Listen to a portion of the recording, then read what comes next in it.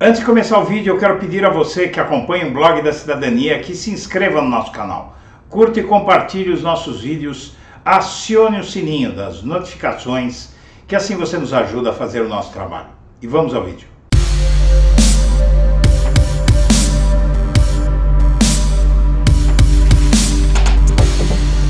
Olá, eu sou Eduardo Guimarães e este é o blog da cidadania.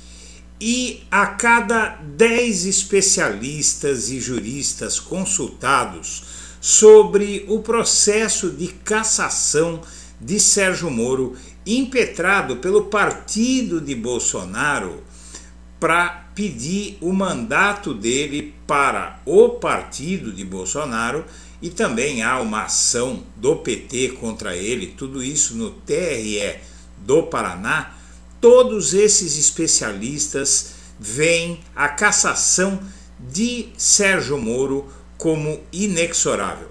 Mas Sérgio Moro não perde a mão.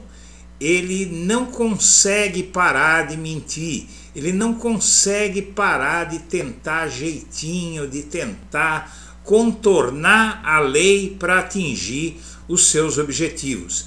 E agora apesar de o PT ter muito pouco a ver com a situação dele na Justiça Eleitoral do Paraná e futuramente no Tribunal Superior Eleitoral, o Moro ele inventa que o PT está caçando o mandato dele usando métodos venezuelanos. É uma mentira asquerosa do Sérgio Moro, tão asquerosa que o próprio jornal O Estado de São Paulo acabou publicando uma matéria que dá a entender exatamente isso que eu estou dizendo, que diante das dificuldades dele da cassação inexorável, ele culpa o PT de uma forma descabida, porque o PT não tem nada que ver com o que está acontecendo e isso está provado por argumentos muito concretos.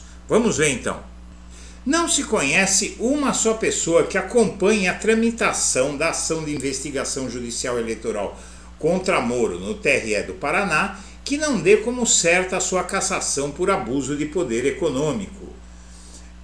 O fato é o seguinte: havia um teto para gastos de campanha ao Senado, que eram 4,4 milhões. O Moro declarou 5,2 milhões.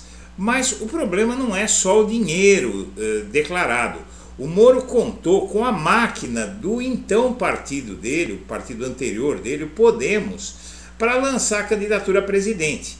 E aquela super exposição, todo aquele oba-oba na mídia, uh, não é? toda a mídia caiu de quatro pelo Moro quando ele disse que ia se candidatar a presidente, não é? Uh, aquilo, obviamente, teve um efeito na disputa para ele, ele tentar o Senado. Então, ele começou com verba e exposição de candidato a presidente e usou isso para se eleger para o Senado. Assim, não foram só os gastos oficiais acima do limite para candidato a senador.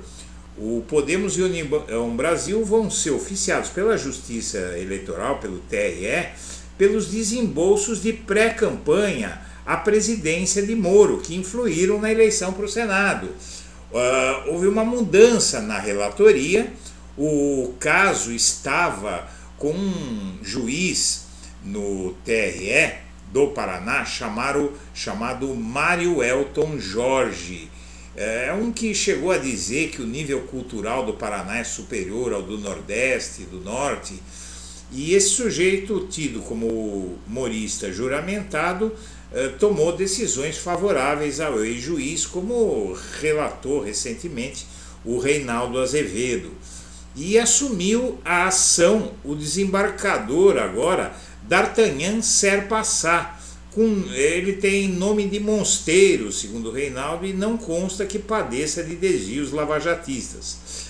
A composição do tribunal então mudou e no dia 5 assumiu uma das vagas no, no, na relatoria o advogado Júlio Jacó Júnior.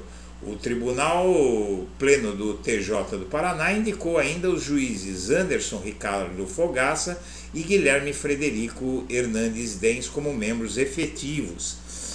E então, na verdade, uh, o que, que acontece? O presidente da República interfere, eh, ele, ele diz que o Lula interferiu na escolha dos juízes que podem condená-lo.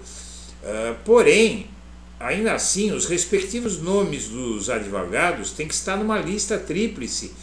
E o presidente da República só nomeia dois dos sete juízes que vão julgar o Moro lá no Paraná. E se ele não for caçado no Paraná, ele vai ser caçado em São Paulo.